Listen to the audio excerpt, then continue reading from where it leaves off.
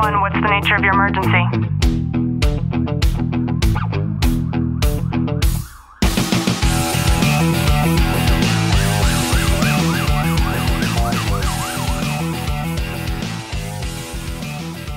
Welcome back to the Tactical Living Podcast. I'm your host, Ashlie Walton, joined by Detective Walton. Clint, how are you? I'm good.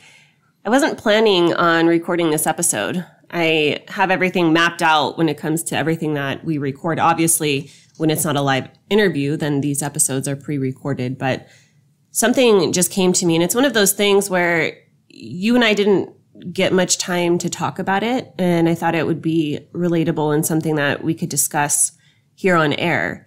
And the main point that I kept coming back to when I was ruminating on these thoughts for this topic that I want to talk about with you is the fact that so many of us have changed. And I know that we have changed because of the conversations that I've had, deep conversations that I've had. We have changed post COVID.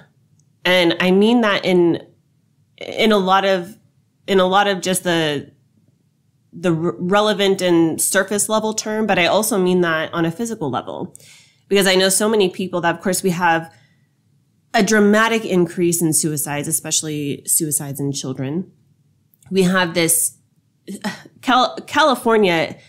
I feel embarrassed to live here. We had that instance where there was 150,000 fentanyl pills that were discovered by those two individuals that California just decided to like, oh yeah, let them go. Mm-hmm. And they're just out there roaming on the streets doing the same thing, most certainly. Um, so we've had the fentanyl increase, which of course contributes to additional deaths in our, in our country. And the, the level of just angst and mental instability that's taken place because of what this country and the leadership in our country has allowed to have happen has changed so many people and further discussions that I've had as it pertains to us being so different now post COVID is the physical attributes. I know that after Clint and I got COVID, Clint and I still can't taste and smell things in the same way. So that fucking sucks. Mm-hmm. But then, you know, I've had some female issues so much to the extent that I've gotten some tests, like at home tests to be able to take and send in for different blood work panels and things. Just something feels so different. And it's like that for everybody that I talk to. Everybody has a story. And going further, there are people who have lost others due to COVID or, you know, suicide or however they've lost people within these last two years. And then that's changed their life. And then going even further, there are people like my father who I've, I've been raised in a pretty conservative, mm, moderately, re, re, I would say Republican household. And now, because my dad during these two years was forced to stay home so much and be glued to television because he's not very tech savvy. So he doesn't really check out news on his phone or apps and things like that that I rely on.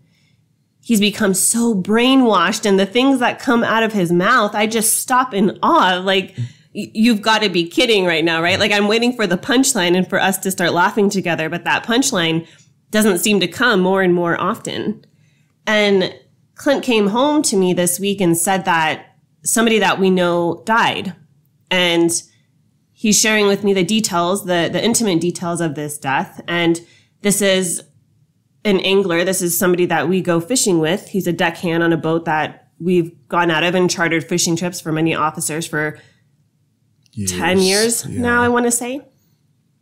And it was shocking to me because we're getting ready to charter another fishing trips for another fishing trip for some officers. And the first thing that I do as I'm thinking about, you know, the, the upcoming trip and trips from the past is I go back and I look at all these pictures that I have of all these giant fish that I've caught. And there's me, the fish, and right next to me, there's, there's Keith. His name mm-hmm. is Keith. And to know that this upcoming trip is going to be so different because he won't be there, it changes more, right? Even more has now changed. And then I think about the life of the owner of the boat. I think of the life of the captain of the boat and how different life must be. I'm looking at the report and I see that on on June 23rd, it was the only day that there's no fishing count. And that was because that was the day that Keith died. So obviously they, it was unexpected and they didn't go out fishing that day.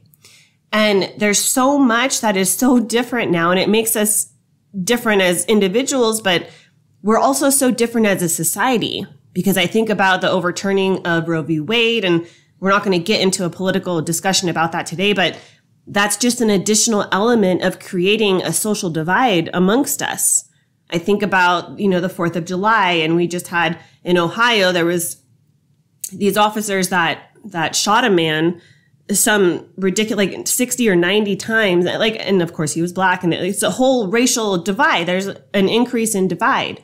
And life is just so different. And it's because we are also so different. And it, you know, I, I go into these thoughts of conspiracies and it's difficult not to because I've never had this feeling as in a, in a body, in this vessel. I've never carried around this kind of physical feeling before. And I've never carried around these kind of emotional feelings before. And I've also never had such relatability where the one thing that we can all agree on, at least so much to the extent of people that I've been fortunate enough to have these deep conversations with, is that they too are feeling the exact same thing.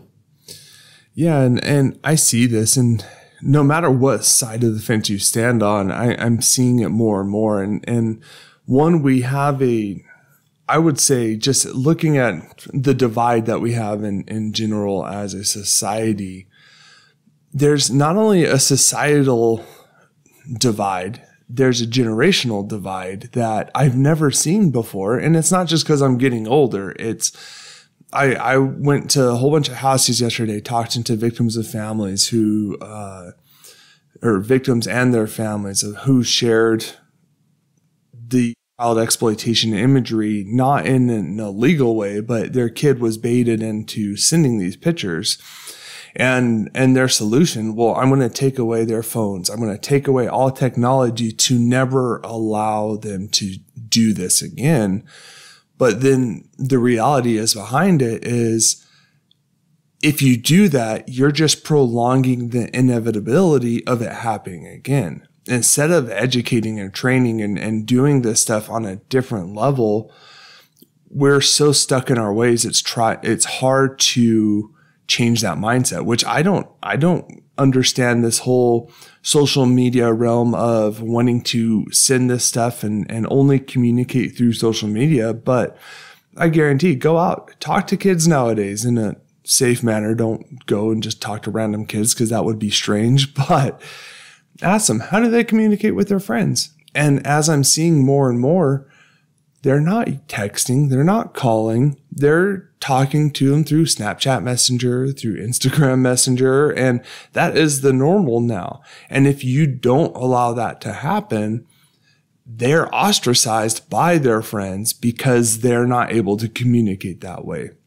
And this is just an example of the overall divide that we're seeing more and more, especially generationally, societally, and, and it's just progressing. And, and it's crazy how everything that we've experienced in the last two years has led us to this point and and it's just going to keep increasing. It's not it's not getting better. It's getting worse but there's good news about this because I've given this a lot of thought and it's been the solemn episode and I, I don't want to end it that way. And I want to share some of the thoughts that I've had as to how to work through this on a personal level. And this is just based on patterns and habits that I hone in on that I see from myself and that I've seen from other people. And the first thing we talk about it all the time, but I want to keep talking about it all the time because it's that important. And that is to have a good diet with social media. Have a good diet with any type of media that you consume on a regular basis. So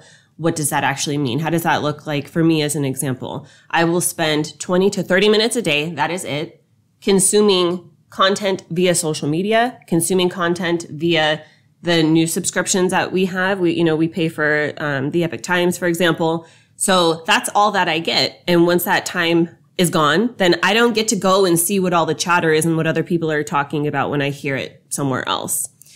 When I'm getting ready in the morning, I like to consume content that is, you know, it's very methodical when I'm doing my makeup. And so consuming content is very easy for me to comprehend when I'm doing that. So I will consume, um, deeper levels of communication in that way. So podcasts like Charlie Kirk or The Daily Wire, like things like that, that have really deep connotations, or I will consume um, other types of like right now I'm listening to a political book, like an, an ebook on Audible. So that's also something that I like to do.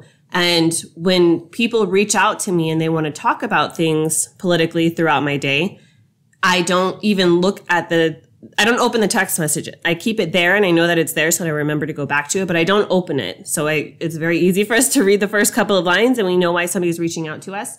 And that's a very healthy behavior for me because I don't want my train of focus with work to be altered because somebody wants to talk to me about the latest headline that they've read on the news. So that's also something. Um, going deeper, focusing on myself, you know, Clint got me a karaoke machine for my birthday and that sounds so mundane and simple, but just yesterday, Clint called me and asked me what I was doing, and I told him I needed to close the laptop and I was going to work out actually. So I went into the gym, and as soon as I turned on that button for the karaoke machine, I sat down and I started singing. And so it turned out for me, I didn't need the endorphins of working out in that moment. I needed the endorphins of singing, which is something that I truly enjoy to do, and it makes me very happy and feel complete. So there are many things like that that we all have. Um, we had some really good, healthy food, and again, this is going to sound simple, but there are things that feed our soul, things that we need to identify that feed our soul, that allow us to feel more of real life and to not feel like we're some experiment living in the meta universe, which is another conversation. Hmm. but Clint got some key limes and I had cucumbers. And then somebody sent me this huge tray, like an ice cube tray with these two by two cavities. And so I cut some cucumbers up put some key lime juice in them, filled it up with water and froze them. And it is so delicious having these giant ice cubes, which are incredibly aesthetically pleasing, but then also to have the flavors inside of the infused water in that way. So there are such small things that we can do going outside and you know, I sprayed down buttercups yesterday and then she came up to me and gave me a hug and just allowing myself to be in that moment and to actualize reality and real life as it pertains to me personally, right? The headlines don't don't always pertain to us personally. I shared some advice with somebody yesterday and I said, make sure that you're always consuming your news content by reading it before you watch it. And what does that mean? That means that make sure that when you are consuming something to be alleged news, yes, alleged news, that you're allowing your own narration while you're consuming it before you allow the emotion and narration of somebody else to infiltrate that information. So think on that. I think that is super, super important. So these are just a couple of tips, things that I've been thinking on, some shifts and adjustments that I've been doing to recalibrate the way that I'm operating so that I don't get sucked into this vortex. And it's so easy to get sucked into that vortex. And um, we all need to think about it and help each other and support each other out. So I hope you've gotten some value out of today's episode. If you have, do us a favor, drop a review, subscribe down below. And as always, know that I'm sending you a long, tight hug from my home to yours.